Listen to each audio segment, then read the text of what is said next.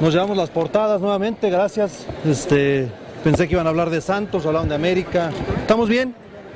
Este, nos faltan jugadores todavía, nos faltan seleccionados, todos estamos tranquilos y pendientes de tratar de hacer un buen inicio de torneo. ¿no? ¿Cabe la palabra fracaso de acuerdo al objetivo planteado? Para ustedes sí, por supuesto, todo lo que haga América, lo que deje de hacer América es fracaso, ¿no? entonces no me sorprende realmente. Gracias por retornarnos las portadas y vamos a, a- a hacer una muy buena temporada, eso se los garantizo. Falta, falta entendimiento y falta eh, jugadores, nos faltan jugadores cuando, cuando estemos todos.